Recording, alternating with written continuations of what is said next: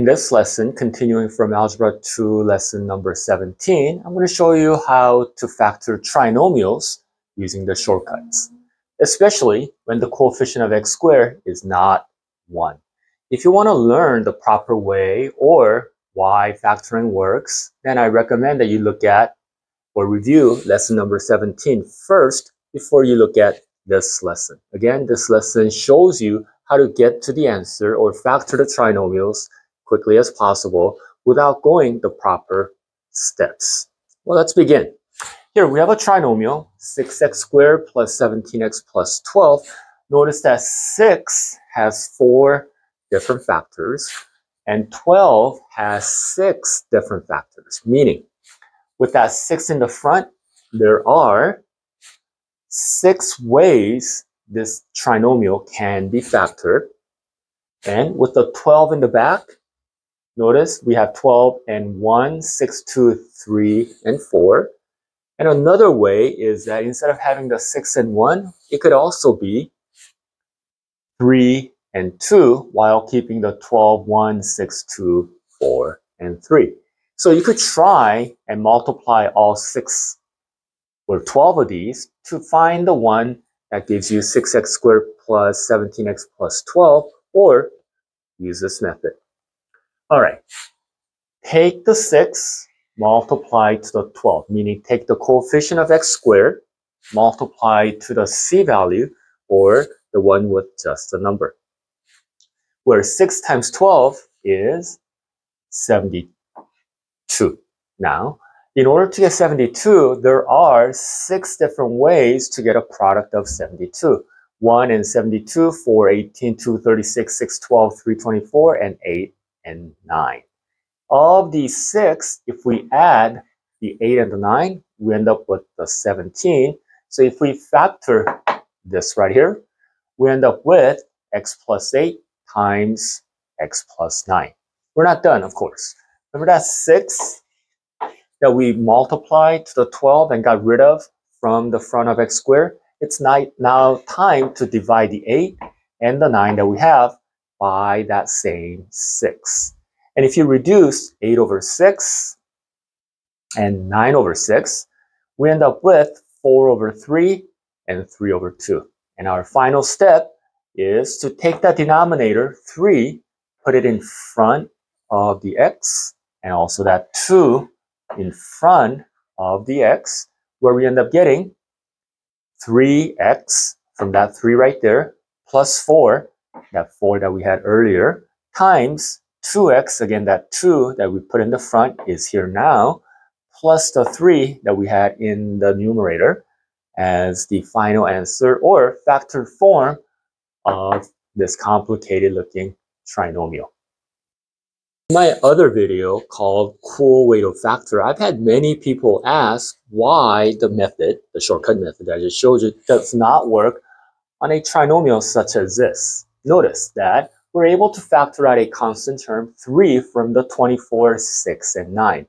In such cases, the 3 needs to be factored out to the front first, like this, and then factor what's in the parentheses. In this case, if we factor out a 3 from the 24, we end up with 8. And then factor out a 3 from 6, we get a 2. And factor out a 3 from 9, we end up with a 3. So what we want to do is factor what's in the parentheses and then tack on the 3 in the front way at the end. Let's begin. So we'll take that 8x squared minus 2x minus 3 and factor it the same way that we just did. First, we'll take the 8, multiply to the 3, which gives us that 24. And we want to look for two numbers that multiplies to negative 24 and at the same time gives us the sum of negative 2. And those two numbers are negative 6 and 4. So we want to go ahead and factor x squared minus 2x minus 24 into x minus 6 times x plus 4. Next, that 8 that we use to multiply to the 3, we want to go ahead and divide that 6 by 8 and the 4 by 8 also. Next, go ahead and reduce these two fractions, which will become 3 over 4 and 1 half. Take the denominator, the 4, tack it on or put it in front of the x. Take the 2, put it in front of the x, where we end up getting 4x minus 3. Again, the 4 is from that denominator right there, times 2x plus 1.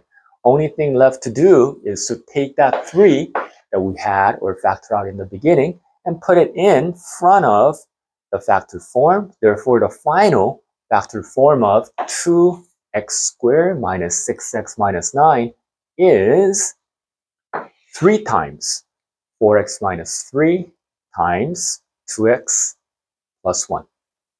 In this last part of the lesson, I want to show you a way to factor a trinomial that I'm sure you've seen in other YouTube videos. In the other videos, I explain why this method works and how this method works. But here, I just want to show you how to get the factor form of this trinomial, especially when the c value right here has many different factors.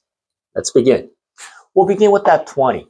Okay? The b value or the number in front of the x, we'll take that and then divide it by 2. In this case, 20 divided by 2 is 10. Then we'll take that value or 10, square it, and then subtract the c value or 96, which of course is 4. Now we'll take that 4, take the square root of it, which again is 2. Now here's the final part. What we want to do is take that 10 that we found earlier and put it here and here, meaning write it down as x plus 10 and x plus 10. Final, finally, we'll take that 2, put it here as plus 2, and then put it here, here's the important part again, minus 2. Notice that 2, we put the plus version here and the minus version here. To recap, take the b value, the 20, divided by 2, put that number here as x plus 10 and x plus 10. Next, take that 10, square it, and subtract the c value, which is 4, square root that, and then take that square rooted value as plus 2 after the 10, and minus 2. So we're adding a 2 and subtracting a 2 from the 10 that we figured out earlier. If we simplify this, we end up getting x plus 12 and x plus 8, which of course is the factor form of x squared plus 20x plus 96. So I hope these uh, methods will help you in getting the job done quickly. And of course, you should learn why these methods work or how factoring works. That is important. But once you've learned that, and if you need to know how to get the job done or just how to find the factor form quickly because you're in that next level math, um, these methods will definitely come in handy.